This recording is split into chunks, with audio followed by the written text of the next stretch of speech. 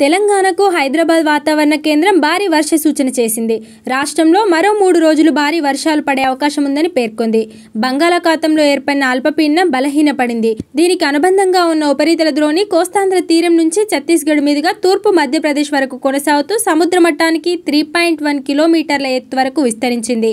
దీని ప్రభావంతో గురువారం రాష్ట్రంలోని ఆదిలాబాద్ నిర్మల్ నిజామాబాద్ వికారాబాద్ సంగారెడ్డి మెదక్ కామారెడ్డి మహబూబ్ నగర్ నాగర్ కర్నూలు జిల్లాల్లో అక్కడక్కడ భారీ వర్షాలు కురిసే అవకాశం ఉన్నదని హైదరాబాద్ వాతావరణ కేంద్రం తెలిపింది.